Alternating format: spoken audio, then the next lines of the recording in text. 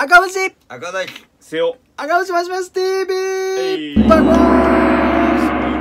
実はですね先日ですね豚ラーメン、はい。板橋駅前店さんがですね、フォローしてるんですけどもツイッターを、はいはい。突如うなぎの豚ラーメンをはい。始めるのでツイートしたんですよ、うマジで？ダッシュで行って、あったんですけどあのありますよってだけじゃなくて、うん。なんとこれ無料だったんですよ。え？マジ？なんで？たまにやるの。え豚ラーメンさん。急遽夜1時間だけ今から無料とか。たまたま今回見つけてしかもうなぎが乗ってるということだったんで。牛の日か。そうそうそここに合わせてね。なるほど。うでそのうなぎがなんでいきなり始まったかっていうと亀戸にあるキッチンダイブさんっていうデカ盛りの弁当屋さんがあってそこがもううなぎをすごい推してるうん感じなのこれはまあ僕は目の前通ったことあるんだけどもう店頭にものすごい量のデカ弁当がどっさー置いてあそんるなでかいのんでかかった。あいやめっちゃマジめっちゃドカ弁でしたけど。いやあのだからまあこの11インチのパソコンぐらいあるマジでか。まあで本当にかいなそれ。11インチ弁当売って10んの万ぐらいするってこいやいや価格そんな中にインテルとかは入ってないです別に。でコラボをしてうなぎが提供されたということで始めたらしいんですけど僕はもちろんそれを食べたんですよ。やっぱちょっと撮影のねルールにのっとって食べることはできなかったんでとああなるほどまあまあ。今回どうだったかっていうのを解説したいという。写真付きです。あご覧ください。こちらです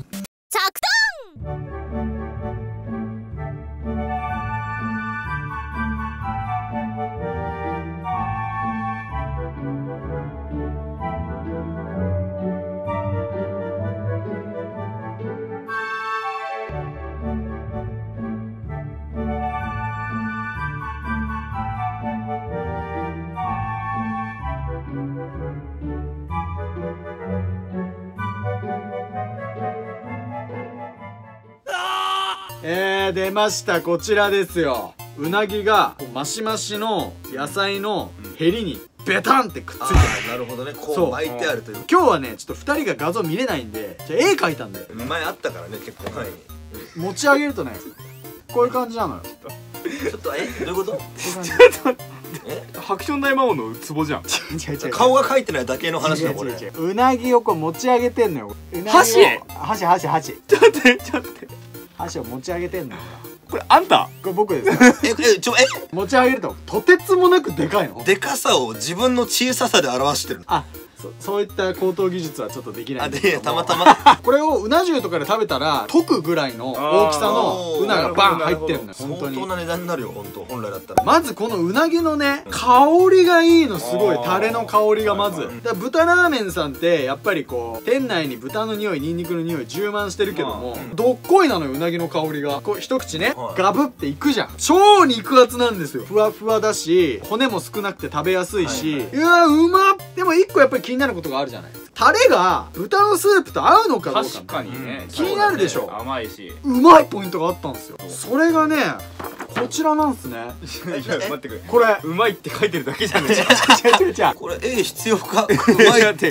もううなぎないでしょ？何が起こってると思いますこれ。タレが野菜にかかってる状態なんですけどタレ野菜めっちゃうまかったのこれ。ああなるほどね。そう。本来なんか醤油系のラーメンに甘さってどうかなって思う人もいるけどまあそうだね二郎系の場合味付け油とかちょっと甘いじゃないですか。もともとうなぎのタレも醤油だし全然マッチするんですよ。野菜と。これをね伝えたかったんですよこれを。なるほど。そう。タレがこのスープの中に溶け込んだ場合も豚ラーメンさんの結構乳化したスープとうなぎのタレの非乳化スープがですね。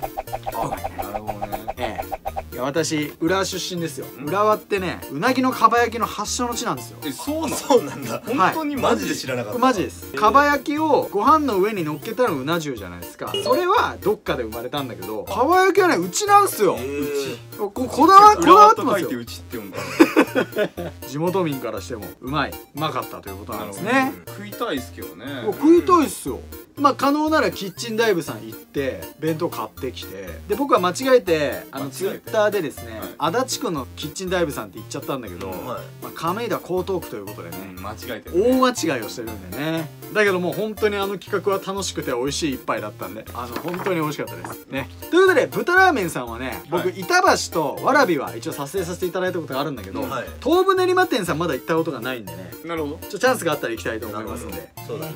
最後はねうんうん最後ははい。はい。ねバイバイ。え東武練馬店も行ってみるよ。ごちそうさまです。ごちそうさん。バイバイ。眠い。眠そう。確かに「